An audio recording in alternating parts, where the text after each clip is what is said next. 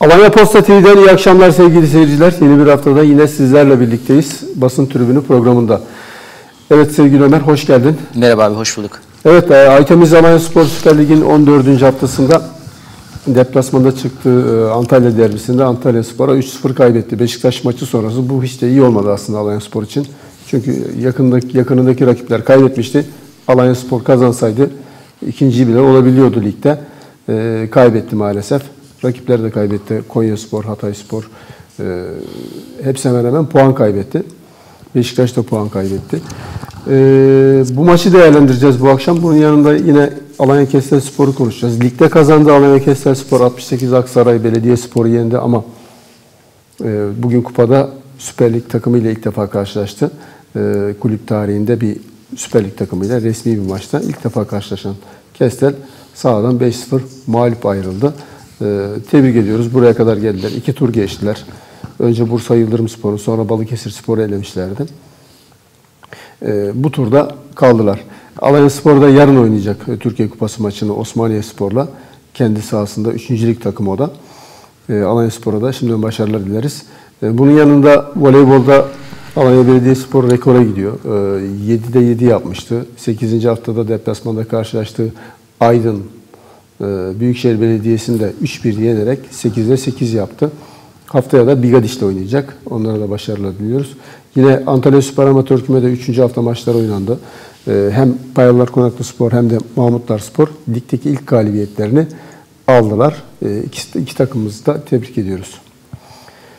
Ee, Payalılar Konaklı deplasmanda Kınık Kaş Spor'u yendi. Mahmutlar Spor'da kendi sahasında Lara Futbol Eğitimi mağlup etti. Evet sevgili Ömer, Alanya Spor'la başlayalım. Alanya Spor e, Antalya derbisi oynadı. E, Antalya ligin alt sıralarındaydı. Kaybetse ligin dibinde demir atmış olacaktık. Alanya Spor ise ligin zirvesindeki yerini sağlamlaştırmak için kazanması gerekiyordu. Kazansaydı Trabzonspor'un ardından ikinci sıraya yükselecekti. Çünkü rakipler puan kaybetti. Birazdan onları da konuşacağız. Hatay Spor yenildi Sivas'a. E, Konya Spor kendi sahasında Konya, Konya kime yenilmişti? Konya, Konya Gaziantep. Spor, evet deplasmanda Gaziantep'e yenildi. Yani bir tek Trabzon orada lider e, götürüyor. E, üçer üçer puanları. Puan farkını da açtı. E, Alanya Spor'un Antalya yenilgisiyle ilgili neler söylersin? Yani senin de dediğin gibi e, kaybettiğimiz bir maç ama kaybedilmiş bir hafta değil. E, puan farkları korundu. E, sadece Trabzon'la ara biraz açılmış oldu. Yani kazanmış olsaydık e, senin de dediğin gibi ikinci sıraya yükselecektik. Puanımız 27 olacaktı. E, kötü oynadığımız bir hafta. Galibiyeti hak etmediğimiz bir maçtı. Sonuçta ama e, rakiplerimiz de kaybetti. Yani rakiplerimiz derken e, Konya'dan bahsediyorum, Hatay'dan bahsediyorum. Fenerbahçe berabere kaldı. E, Başakşehir berabere kaldı. Karagümrük yenildi. Yani aslında sıralamada çok fazla bir şey değişmedi. Sadece bir Fenerbahçe bir üste çıktı, bizim üstümüze geldi. E, yani dediğim gibi kaybedilmiş bir maç ama kaybedilmiş bir hafta değil yani. Kaybedilmiş fırsat var. Bir fırsat, fırsat var. ha, kaybedilmiş fırsat var yani. Çünkü- ama ya daha ligin çok boyu çok uzun yani. Daha yarıya dahi gelmedik. Bunların hepsi telafi edilebilir ama söyleyerek de kendimizi avutmamalıyız bence. Böyle e, zamanları değerlendirmemiz lazım. Oyun iyi değil. Yani şimdi Beşiktaş'a oynadığımız oyuna bakıyorsun. Harika oyun oynuyoruz. Ee, Yani sonuçta Beşiktaş yani karşı ne kadar kötü olsa da yani bu hafta 4 yemiş olabilir Beşiktaş ama e, bize karşı da çok iyi oynadı Beşiktaş. Güzel pozisyonlar buldu. Beşiktaş'a karşı oynadığımız oyuna bakıp ondan önceki oynadığımız e, Rize maçına bakıp bir de bu maça bakıyorsun. Yani arada iki tane ayrı takım var gibi. Yani Beşiktaş ayrı bir takım çıkıyor. Antalya ayrı bir takım çıkıyor, Rize ayrı bir takım çıkıyor sanki. Yani bir o standart standardı koruyamayan bir şey var. Beşiktaş'a oynadığımız oyunu oynasak ki burada ben yine Antalya'nın hakkını vermek istiyorum. Oynatmadılar. Oynatmadılar yani. Ee, güzel de pozisyonlara bizim doğru düzgün pozisyonumuz yok. Yani kaleye giden topumuz yok diyebilirim yani pozisyon üretemedik. Belki hocanın kadro seçimini eleştirebiliriz ama yani şimdi bakıyorsun kadroya Efecan'ı oynatmadı ilk 11'de. Kandiyaş'ı aldı. Ee, Babakar vardı ilk 11'de. E, Babakar Beşiktaş maçında ilk 11'de çıktı. Golünü attı mesela. Ondan sonra e, Bence hocanın bu maçtaki hem oyuncu tercihleri hem oyun e, rakibe göre aldığı tedbir, taktik hiçbir şey tutmadı. Yani Tutmadı, evet. Bülent Hoca'nın e, son iki deplasmandır. Önce Giresun, içeride Beşiktaş'la oynadık. Sonra geldik Antalya'da deplasmanda. Yani son iki deplasmandır takıma bir şeyler oluyor. Yani bir Rize, sıkıntı Giresun var. değil. Pardon, e, Giresun değil, Sivas, e, Rize. E, Rize'ye yenildik biliyorsun. Rize Evet. sıkıntılı günler geçiriyordu. Yani geldik Antalya'da da kötü oynadık. Yani iki deplasmanda Ama arada Beşiktaş maçında harika oynadık. evet. Ya niye orada harika İşte oynadık? Bir düşüş yani, bir- bir varsa sıkıntı var. ya bir düşüş varsa Beşiktaş'ta da kötü oynamamız lazım. Ben niye Bülent Hoca'ya yazar bu mağlubiyet? Çünkü e, bakıyorsun kaptan Efecan takımın en çok asist yapan adamı, gol Evet. atabilen bir adam, iyi mücadeleci bir oyuncu. Yedekte çıkıyor ilk 11'de. Yani anlamadım yani. Kakan yaş koyuyorsun. Yani bu Türkiye Kupası maçı mı bu yani? Hani ikincilik, üçüncülükten bir ta- takım mı rakibimiz? Bir puana ihtiyacı olan bir takımla oynuyoruz ve Yani niye Efecan'ı grafiği giriyorsun? yükselen bir takım. Hasta mıydı yani? O, o zaman hastaysa, sakatsa kadroda niye var? Niye ikinci yer aldın oyla? Ee, ondan sonra mesela maç sırasında yapılan değişikliklerden bir tanesi dikkatimi çekti. Sağ bek Yuan Fran'ı çıkartıyorsun, sol bek Borya'yı alıyorsun. Yani bu durumda ne yapıyorsun? Tayfur'u sağa çekip Borya'yı solda oynatmaya çalışıyorsun. Tayfur zaten solda oynuyor 2-3 haftadır. Yani madem Borya iyi oynayabiliyor o zaman Tayfur'u doğrudan kenarda tutsaydı veya Yuan Fran'ın Borya'yı sol bekte başlasaydı. Yani anlamadım. Yani bu, bu maçta hocanın hiçbir planı tutmadı. Tutmadı evet. Hiçbir e, düşüncesi tutmadı. Efkan'ı- Efkan'ı denedi orta sahada. Ya rakibe çalışmamışlar. E son dakika Umut sakatlanıyor, Efkan'ı alıyorsun falan. Ya anlamadım yani bir değişik bir şey oldu bu hafta. E, işte güzel olmadı yani. Antalya Spor için iyi oldu. Bölgemizin takımı işte aynı ilimizin takımı ama yani biraz fırsat etti Alanya Spor. Ya yenilirsin abi yani yenilirsin yenilmezsin değil. Ama e, yenilirken de mesela geçen yıl ne konuşuyorduk? Diyorduk ki yenildik ama yani top bizdeydi, pozisyona girdik, gol atamadık diyorduk. Ama yenildiğimiz maçlara baktığın zaman yani Bülent Hoca'nın daha ikinci mağlubiyeti bu ama yani şey e, oyunda bir tutukluk oluyor. Yani ben bunu yine konsantrasyona bağlıyorum. Yani bir hafta çok iyi oynayıp bir hafta çok kötü oynayan bir takım. Yani sonuçta e, kadroda bir iki kişi değişiyor. Yani Rize'ye giderken biz ne de konuşmuştuk burada. Yani sakatlarım, e, cezalımız vardı. E, Yerine girecek olan oyuncuların da çok iyi olacağını düşünmüştük. Yani çok fazla şey değişmez demiştik ama çok kötü bir oyun ortaya koyduk. Burada yine Rize'nin de hakkını vermek lazım. Oynatmadılar. Antalya da oynatmadı bizi. Çok fazla pozisyona girdiler. Sayılmayan bir golleri var. Offside'dan e, ondan sonra e, birçok şutları var. Yani ben Antalya'yı tebrik ediyorum. Yani onlar derslerine iyi çalışmışlar. Alanya'ya iyi çalışmışlar. Alanya dediğin gibi yeterince dersine çalışmamış. E, mücadele de biraz gıt olunca yenilgiyi hak ettik. Ay, avunduğumuz şey ne? Rakiplerimiz de kaybedince, berabere kalınca çok fazla sıralamada bir değişme olmadı. E, Burada rakipler de kaybetti diye sevinmeli miyiz? Sev- Yoksa, be- bence e, sevinmeliyiz. e, bu fırsatı kaçırdık diye üzülmeli miyiz? Ya bu fırsatlar yine gelir bence. Yani çünkü daha 14. hafta oynuyoruz yani. Ligin boyu çok uzun. 38 haftalık bir lig var önümüzde. Yani e, bunlar değişir. Bu fırsatlar yine yakalanır ama ben oyunu eleştirmeliyiz diye düşünüyorum. Yani bu hafta kazanmış olsaydık ikinci sıraya çıkardık. Gelecek hafta iki hafta kaybedersin. Bir anda rakiplerin senin üzerine çıkar. Seni 3-4 sıra aşağı iterler. Bunlar değişir. Değişmez değil. Ama dediğim gibi oyun iç açıcı değil. Şimdi yarın akşam kupa maçımız var. Yani kupa maçında çıkart denemek istediğim oyuncular Cumartesi günü de e, öğlen Sivas'ı misafir edeceğiz. Evet. Sivas Hatay'a 4 atan bir takım. Biz de Hatay'dan 5 yiyen bir takımız. Evet. Yani mantıklı bakarsan o zaman Sivas bizi burada dağıtması lazım. Yani Ama işte belli olmuyor. Yani şimdi bakıyorsun e, her takıma gibi görünüyor Sivas. Evet.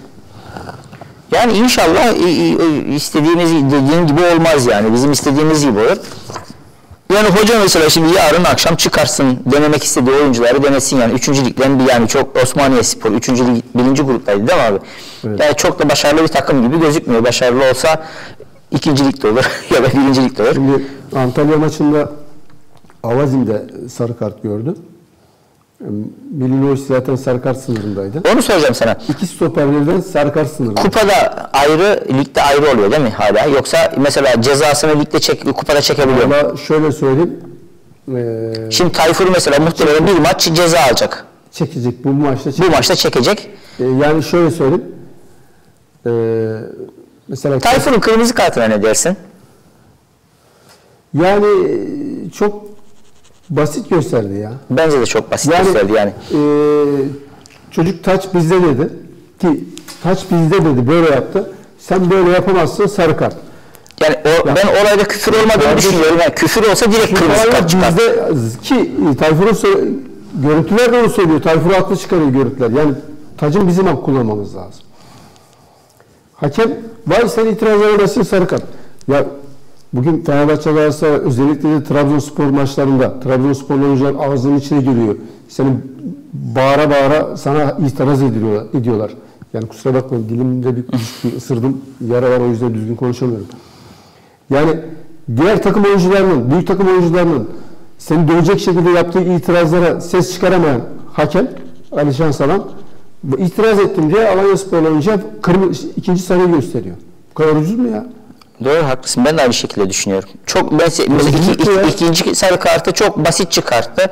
Ya ben şöyle düşündüm. O yani Allah belanı versin demiş olabilir mesela. Böyle bir şey olsa direkt kırmızı kart çıkart. Yani, Yani uyarı bir yani böyle hareketlerde bulunma falan bir şey de yani uyarı da yok, bir şey yok. dediğim gibi bazı bazı takımlara e, tolerans geçiyorlar.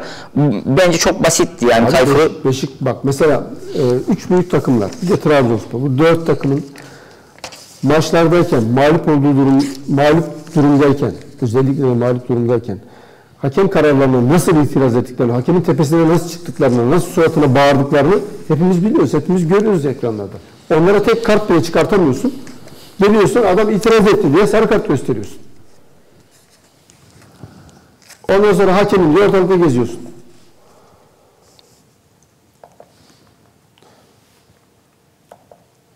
Hakemi açtın sen ama başka bir şey konuşacaktın ya. sinirlendim biraz da sen sanki. Evet o konuda tweet tweet de attım ben. Kızdım çünkü o olaya. Unutmuştum bak sen hatırladın. ee, peki bu yenilgi sence neden? Yani niye yenildik? Niye aynı oyunu oynayamadı Alanya Spor?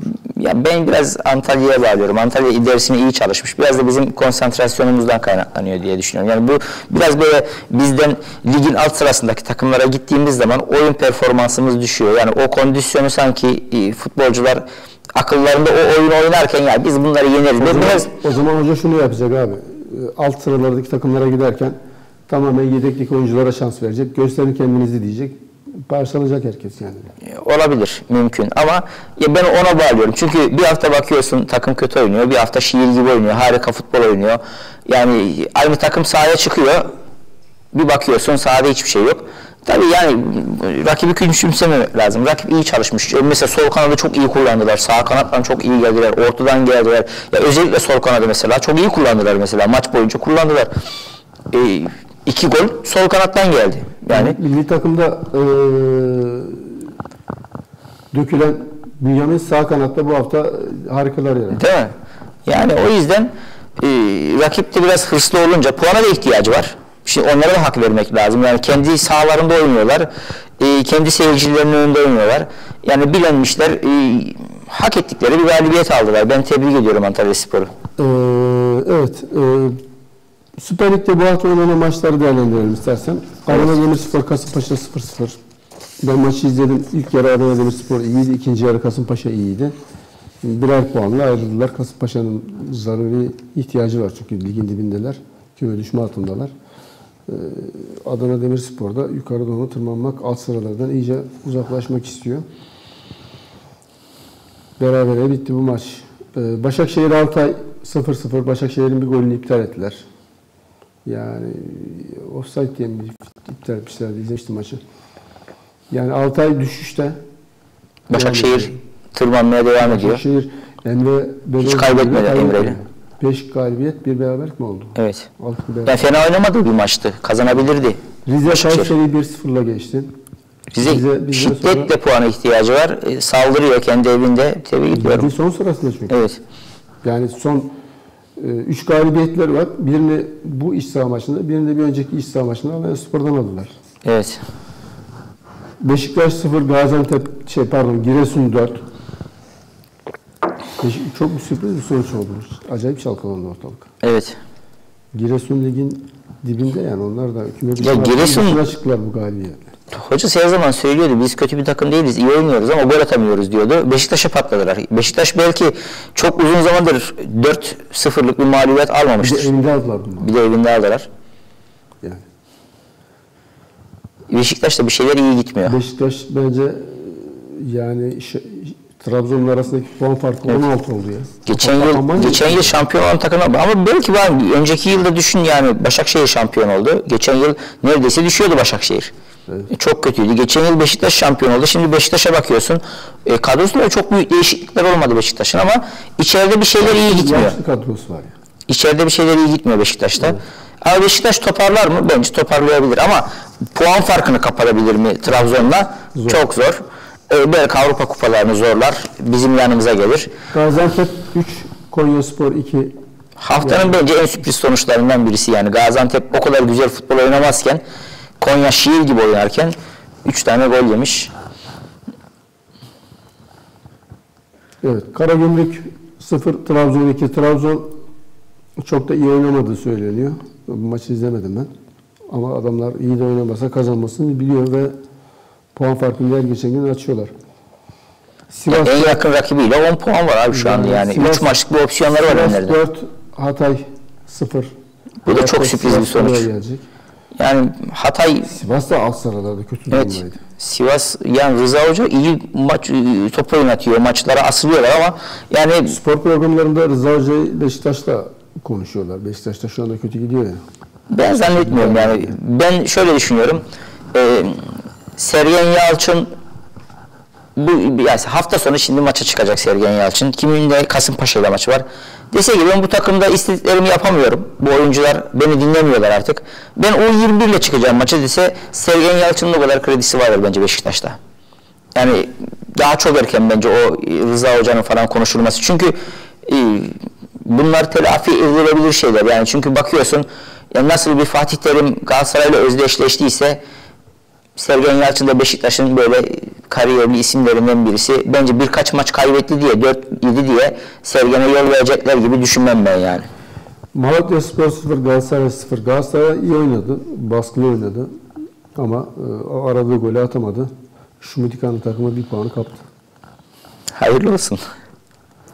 Göztepe 1, Fenerbahçe 1 e, haftanın kapanış maçıydı. Fenerbahçe bu sezonun en kötü futbolunu oynadı dün akşam. Ama kulüpler şey güllük gülistanlık. Yani e, dördüncü sıradalar. Yani dördüncü sırada olabilir abi ama yani çok kötüydü abi yani. Ben Göztepe mesela bir anda maçın kırılma noktası diyebiliriz. Yani direkten dönen top var. Top dönüyor geliyor. Fenerbahçe gol atıyor. Yani doğru düzgün 3-4 tane şutu yok Fenerbahçe'nin. Maç boyunca ortada bir şeyler yaptılar. Yani ben, ben Fenerbahçe'nin dün akşamki oyununu hiç beğenmedim. Göztepe çok rahat kazanabileceği bir maçı bıraktı bence kendi evinde Evet. Türkiye Kupası'nda Alanyaspor e, dördüncü turdan giriş yapıyor ve Osmaniye Spor'la oynayacak. E, yarınki maçla ilgili ne düşünüyorsun? Saat 17'de maç. Güzel akşam üzeri. İdeal 6'ya koysalar da daha güzel olurdu. Mesai sonu insanlar maça gidebilirlerdi. Şimdi ikinci... Yok, e, biz çok maç olduğu için şeye göre ayarlıyorlar. Yani Yayın- tabii yayıncı kuruluşa göre ayarlıyorlardı. Yani ben mesela şimdi şöyle bir şey var abi. Yani yayıncı kuruluşun birkaç tane kanalı var. Ee, yayınlayabiliyor maçları. Dönüşümlü yayınlıyor. Yani biraz da yayıncı kuruluştan ziyade şeye bakmak lazım. Yani seyircinin o maça, yani futbol ne için var? Seyirci için var. Yani sen hafta içerisi saat 5'e maç koyduğun zaman insanların mesai saat 5.30'da 6'da bitiyor. 5'te çıkanlar var. Memurlar 5'te çıkıyor. E 5'te çıktığı zaman maça stada gitmesi zaten insanın yarım saatini alacak. Birinci yarıyı izleyemeden ikinci yarıya girecek. Çoğu insan Yani e, şöyle saat 7'de de maç var. Adana Demirspor Serik. Yani bunu da 7'ye alabilirdi. Yani 7'ye alabilirdi yani. 7'de ıı, koy, 6'ya da koyabilirdi yani. 6'ya koysa yine çok insanlar rahat yetişebilirlerdi. Biraz da yani futbol seyirciyle güzel abi. Seyirci olmadığı zaman sen yayıncı kuruluş maçı yayınlamış yayınlamamış yani bence biraz bunu da gözetlemek lazım. Yani 5'e koymaları bence abes kaçtı. Hafta içerisinde olan bir maçın bence saat 6'dan sonra olması lazım. Yani stadımızın fiziki konumu malum biraz yukarıda. E, ışıklandırması var, her şeyi var. Akşam maç oynayabiliyorsun. Ya koy 6 yani olacak ki yani. Öbürü 7'de başlıyor. Adana Demirliler Adana'nın maçını izlesin. Alanyalılar Alanya'nın maçını izlesin. Stada gidemeyen, gidemeyen televizyonda açsın, dönüşümlü izlesin. Yani dönüşümlü maç izlemek istemeyen de stada gitsin. Haksız mıyım abi? Evet. E, Sivas maçı için ne söylersin? Sivas hafta sonu bayağı Hiçbir bir- şey söylemeyeceğim abi. Hiçbir şey söylemeyeceğim. Yarın akşam bakalım. Hoca denesin biraz. Kadroda çok fazla yer bulamıyor. Muhtemelen deneyecektir yani. kadroda çok fazla yeri bulamayan oyuncuları. Ben isterim yani altyapıdan e, U19'dan U21'den böyle gözüne kestirdiği böyle antrenmana falan çağırdığı mutlaka oyuncu vardır. Denemek istediği alsın oyuna denesin. Yani belki yeni bir yıldız doğar. Belki altyapıdan birilerini çıkartırız. Yani bunlar fırsat maçları bence. Yani tutup da e, ligde çıkarttığı 11 ile çıkmayacaktır. Bakacağız göreceğiz hoca yarın akşam neleri deneyecek. Sonuçta şöyle bir şey var. Ee, Alanya Spor'un yedeklerinin Osmaniye'nin Osmaniye Spor'u yenmesi gerekiyor. Yani üçüncü ligde oynayan bir takımı bizim yedeklerimizin yenmesi gerekiyor. Hocanın full yedeklerle de çıkabilir. Ama muhtemelen e, ya forvet hattında ya e, stoper hattında standart oyuncularımızı kullanacaktır. Birkaç tane üzerine monte yapacaktır. Ona göre bir maç ortaya çıkacaktır yani bilmiyorum. Göreceğiz yarın akşam. Bunlar bu maçları biliyorsun. Şeyi farklı oluyor, havası farklı oluyor. Genelde yedekleri kullanıyorlar belirli bir şeye çıkıncaya kadar. Kupa demişken e, Alanya Spor'u burada noktalıyorum. Kestel Spor'a geçelim. Kestel Spor kupada bugün Süper Lig takımı Kasımpaşa'ya konuk oldu. 5-0 yenildi ama e, tabii arada iki tane lig farkı var. E, Kestel Spor'u buraya kadar iyi İlk, mücadele ilk etti. yarıda iyi mücadele etti ama Kestel Spor. Evet 1-0'la gittiler. İlk yarıda iyi mücadele etti. İkinci yarıda Ama şunu da unutmamak lazım. Yani her ne kadar rakip rotasyonlu kadroyla çıktıysa Kestel de rotasyonlu kadroyla çıktı. Evet. Yani kaybedeceğini biliyordu bu maçı. Ligde daha önem verdikleri için ligdeki bazı oyuncuları burada hani yormamak, risk etmemek için çünkü 3-4 gün sonra maç var. Ee, oynatmadılar burada. Hacettepe'ye gidecekler. Cumartesi günü gidecekler. Yani e, kupaya rahat ettiler. E, fakat Kestel hafta iç, yani geçtiğimiz hafta sonu cumartesi günü 68 Aksaray ile Milli Egemenlik'te oynadılar. Gayet de iyi bir maç oldu. Özellikle ilk yarısında ilk 25 dakikada 2-0 yaptılar. İkinci yarıda 2-1 olduktan sonra Aksaray biraz bastırdı ama e, Kestel korumasını bildi. Genelde biliyorsun öne geçiyordu, koruyamıyordu. evet. Bu kez de aynı sıkıntıları yaşadılar ama korudular ve 2-1 galip geldiler. Ee, Kestel Spor. Yani e, hafta sonu da Hacettepe'ye gidecekler. Kestel Spor ama yine de takviye ihtiyacı var ya devre arasında. Var. Yani bazı mevkilerde sıkıntı yaşıyorlar. Ee, her ne hikmetse gol atıyorlar. Golcü bir kimliği var. iyi bir takım. Yani hücumda iyiler. Ama öne geçtikten sonra acayip bir psikolojiye giriyorlar. Yani rakibe verip topu savunma yapmaya çalışıyorlar ama bir yerde hata yapıyorlar. Yani orada topu kaptığında mesela daha çok topla vakit geçiren taraf olsa e, rakip biraz daha sıkıntı çekecek ama topu aldığımız zaman bir panik hali oluyor. Bilmiyorum yani Kestel Spor'da bir şeyler e, tam daha henüz rayına oturmamış. Biraz da genç bir kadroya sahip. Grubun en genç takımlarından bir tanesi. Yani biraz herhalde oyuncuların e, genç olmasından kaynaklanıyor. Tecrübe eksikliğinden kaynaklanıyor. Ama Kestel Spor kötü değil. E, çok iyi bir puan aldı. Çünkü rakibi il takımı, Aksaray takımı. Büyük bütçeler harcayıp kurmuşlar takımı. Şampiyonluk istiyorlar. E, yine de başarılı diyebiliriz Kestel'e. Onlar da hafta sonu deplasmanda, Ankara deplasmanında Hacettepe'ye gidecekler. Bugün İstanbul'dan belki de direkt oraya geçerler bilmiyorum. Ee, onlara da başarılar diliyoruz. Yine voleybolda Alanya Belediyespor biliyorsun geçen hafta da konuşuyorduk. Bu hafta da e, Aydın'a gitti. Aydın'da da 3-1 ilk seti kaybetmiş. Yani 23-25 mi? E, 1-0 başlıyor. Sonraki 3 seti kazanıyor. 3-1 yendi Aydın'a. Alanya Belediye. 9. haftada da burada Cumartesi günü Bigadiç'i ağırlayacak Alanya Belediyespor Voleybol Erkekler 1. Liginde. Onlara da başarı diliyoruz. Ee, kim kaldı? Payalar Konaklı deplasmanda Kaşkın'ı 2-1 yendi dedik. Bu hafta sonu da Finike Belediye ile karşılaşacaklar. Mahmutlar Spor'da Lara Futbol Eğitimi yendi kendi sahasında. Hafta sonu da Antalya deplasmanında 2003 Spor'a konuk olacak. Toparlayacak olursak söylemek istediğim var mı? Programı bitirelim. Takımımıza yarın akşam başarılar diliyorum abi. Hafta sonu da başarılar diliyorum. Kendi evimizde üst üste iki kere maç oynayacağız.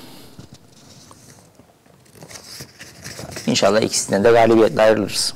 Kupada devam ederiz. Kupa önemli bence yani e, daha önce final oynadık. Yarı final oynadık. Yani e, kupayı da bırakmamak gerekiyor. Güzel maç olur inşallah. İzleriz. Kazanan taraf biz oluruz ikisi de. Sivas biraz tehlikeli bir takım. Puana ihtiyacı var. Bu hafta güzel galibiyet aldı. O moralle gelecek. Bizim moral biraz düşük ama e, Alanyaspor kendi sahasında güzel oynuyor. Biraz da motivesi güzel olursa rahat geçeriz diye düşünüyorum ikisini ama böyle konuştuğum zaman ondan sonra 2-3 tane yiyoruz. ben mahcup oluyorum. Evet, teşekkür ederim sevgili Ben Ahmet. teşekkür ederim abi sağ olasın. Evet sevgili izleyiciler bu haftaki programımızın sonuna geldik. Gelecek hafta görüşmek dileğiyle bütün takımlarımıza maçlarında başarılar diliyoruz. Hoşçakalın.